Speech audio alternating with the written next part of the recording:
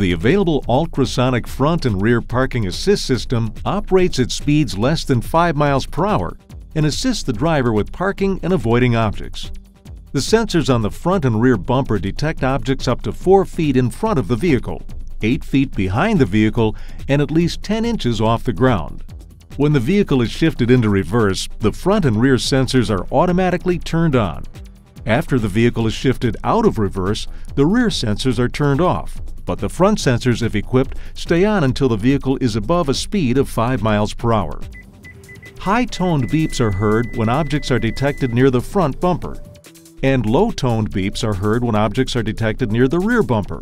The interval between the beeps becomes shorter as the vehicle gets closer to the obstacle. Less than 12 inches away, the beeps are continuous. The ultrasonic front and rear parking assist system can be turned on and off by pressing the Park Assist button in the overhead console. The Park Assist button lights up when the system is on and turns off when it's been disabled.